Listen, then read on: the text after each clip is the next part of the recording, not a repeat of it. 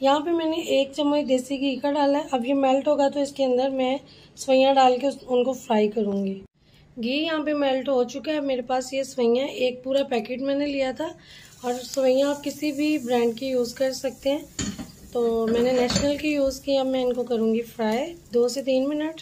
यहाँ पे आप देख सकते हैं कि सवैयाँ हमारी फ्राई हो चुकी है। अब मैं इनको निकालूँगी प्लेट में। फिर नेक्स्ट स्टेप की तरफ़ चलते हैं। ऑल पर मिल्क लिया है मैंने वन लीटर ये वाला। तो अब मैं इनको, इसको मैं बॉईल करूँगी। ये मेरे पास इलायची पाउडर है, ये मैंने पीस के रखा हुआ है। कोई दो से तीन चुटकी है। वो मैंने ऐड कर दिया इसमें। और अब इसके बाद मैं इसके अंदर शुगर ऐड करूँगी। अब इसके अंदर एक कप शुगर का जाएगा। ये वन फिफ्टी एम है शुगर जो मैंने इसके अंदर डाली है। Sorry one fifty gram sugar है। और ये मैंने जो पिस्ता और बादाम पीसे थे वो मैं डालूँगी। इसको मैं अच्छे से पकाऊँगी। ये मेरे पास बर्फ़ी है, वो मैं ऐड करूँगी दूध के अंदर। और आपके पास अगर नहीं है या आपको इसका टेस्ट नहीं पसंद तो आप इसको स्किप भी कर सकते हैं। इसकी जगह आप खोया ऐड कर सकते हैं। अब दूध पकने लग गया, इसके अंदर सवैयाँ ऐड करेंगे।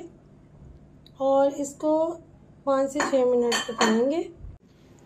यहाँ पे सवैयाँ के हमारी रेडी हो चुकी हैं, आप देख सकते हैं। तो अब मैं इनको कूल करके डिश आउट करती हूँ, फिर मैं आपको इसकी फाइनल लुक दिखाती हूँ।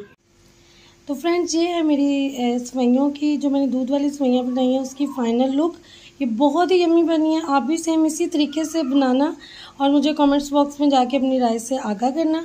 इसी के साथ दे समराज लाइव चैनल को इजाज़त अपनी नेक्स्ट वीडियो तक। तब तक रखें अपना बहुत सा ख्याल। अल्लाह हाफिज़।